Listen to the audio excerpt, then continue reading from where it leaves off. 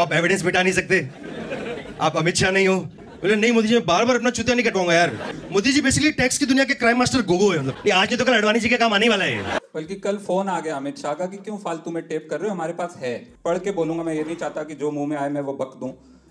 क्योंकि अभी मैं प्रधानमंत्री नहीं हुआ हूँ। वो जूसर पूरे देश ने 2014 में खरीद लिया। तो किताबों से नॉलेज नहीं आएगी तो कहाँ से आएगी तो व्हाट्सएप नहीं पढ़ते तो नाम ही कन्हैया वैसे सबसे कन से समझते हैं। पूरा इंडिया आईटी करने लग गया इक्कीस साल में टैक्स भरने लगे कितनी आप गर्लफ्रेंड बननी पड़ेंगी हमको? ये आपने देखा कभी? ये देखिए। ये मैंने नहीं देखा ये आज देख रहा हूँ।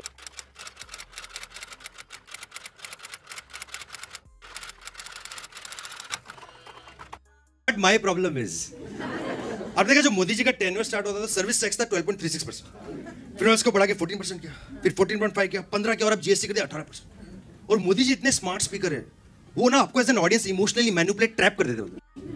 मतलब आपको पता भी नहीं चलता कि टैक्स की बात हो रही है। आपको लगता है मन की बात हो रही है? एक दिन मोदी जी ऐसे आते हैं मित्रों, क्या बोलते हो, भारत साफ़ सुथरा होना चाहिए, नहीं होना चाहिए? और बिल्कुल होना चाहिए, भारत तो साफ़ सुथरा ही होना चाहिए, यार। होना चाहिए, बिल्कुल होना चाहिए। ये लो विश्व Bharat six point five percent. It was a trick question मित्रों। अब आप भी बैकआउट नहीं कर सकते।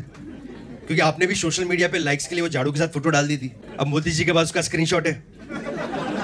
अब आप एविडेंस मिटा नहीं सकते। आप अमित शाह नहीं हो। फिर एक दिन मोदी जी फिर से आते हैं।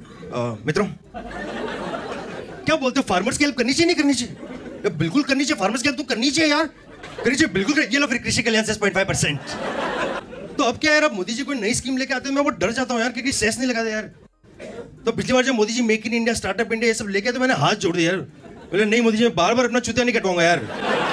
मेरे यहाँ पे केजरीवाल नहीं लिखा है प्लीज़ क्योंकि मोदी जी हर बार बेवकूफ़ बनाते हैं यार। पिछली बार बोला, गरीबों की हेल्प करनी चाहिए बिल्कुल करनी चाहिए। मेरे घर से एलपीजी सिलेंडर उठा के ले गए यार। देखो, मोदी जी जब भी आते हैं, कुछ ना कुछ लेके जाते हैं। मोदी जी बेसिकली टैक्स की दुनिया के क्राइम मास्टर गोगो है मतलब।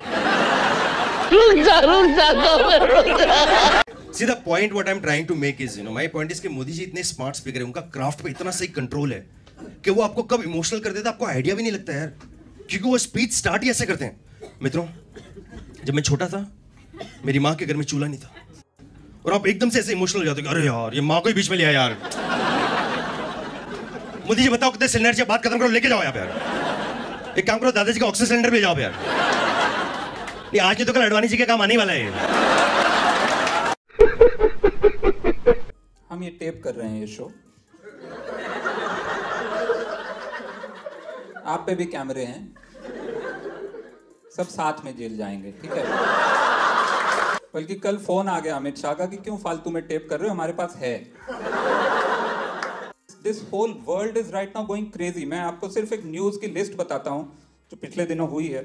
छोटी सी लिस्ट है और मैं generally I don't want to like मैं पढ़ के बोलूँगा, मैं ये नहीं चाहता कि जो मुँह में आए मैं वो बक दूँ।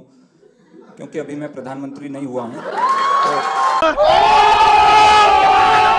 कोई है यूपी वाले यहाँ पे? हाथ नहीं उठाने होते। सिंपल टिप है, लाइफ में बहुत प्रगति करोगे अगर हाथ नहीं उठाओगे कहीं। यूपी वाले सिर्फ़ बिहार में हाथ उठाएँ। वहाँ वो सोच सकता है फ्यूचर से आया है। तो खैर तो यूपी में अभी एक फ़्लाइट आ रही थी इंडिगो की, वो लखनऊ से बॉम्बे आ रही थी फ़्लाइट और फ़्लाइट में बहुत सारे मच्छर थे। मच्छर भी भागना चाह रहे हैं यूपी से समय किसी ने कंप्लेंट कर दी फ़्लाइट में, किसी बंदे ने, वो बॉम्बे आ रहा था, कोई डॉक्टर कोई है बॉम्बे का, उसने बोल दिया बहुत मच्छर है, उसने शोर मचा दिया, लोग उस पर चढ़ गए। ये असल में हुआ, लोग उस पर चढ़ गए, लोगों ने उसको घेर लिया और बोला कि अगर मच्छर पसंद नहीं है तो गो टू पाकिस्तान। ये ये कौन सा लॉजिक पाकिस्तान में मच्छर नहीं है क्या?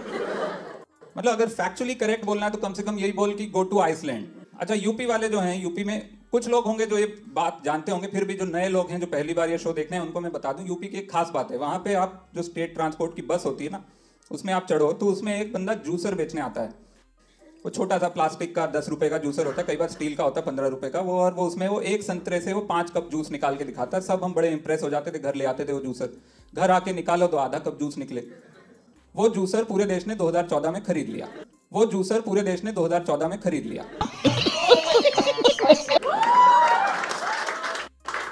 दिल्ली वालों ने दो दो खरीद लिए। और अब हम फिर खरीदने वाले हैं। क्योंकि हम भी यही करते थे, बस से ले आए, एक बार लगा कि धोखा हुआ हमारे साथ, लेकिन फिर अगली बार वो दिखा, फिर हम खरीद लाए।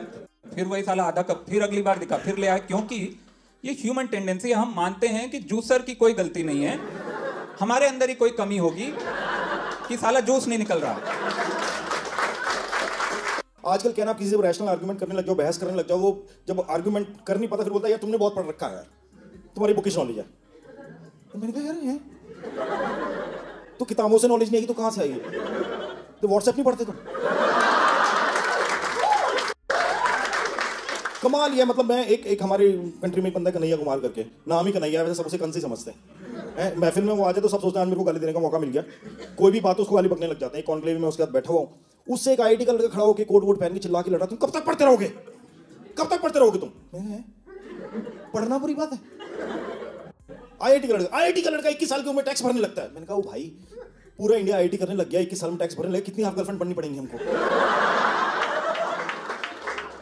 तो ये पढ़ाई लिखाई से कोई लेना देना है नहीं। व्हाट्सएप यूनिवर्सिटी व्हाट्सएप पे पढ़ाई चल रही है। तो मैं यूपी में बता रहा था, जैसे आपको यूपी में गया इलेक्शन के टाइम पे तो एक गरीब किसान आदमी रो रहा था कि नौकरी नहीं है, खेती नहीं कुछ नहीं है, फलाना ये, वो है।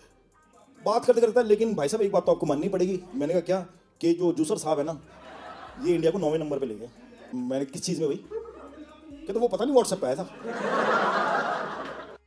मैंने कहा, तेरे को पता है जिसमें नौवें पे ले गए, उससे पहले चौथे पे थे?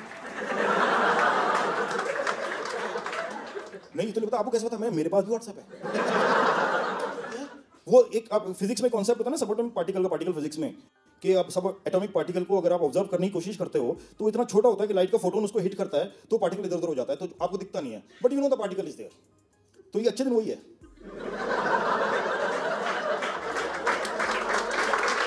ये है कहीं पे। ऑब्ज़र्व नहीं कर पाओगे आप इसको ये अच्छे दिन। अगर हम करें तो करें क्या? बोले तो बोले क्या?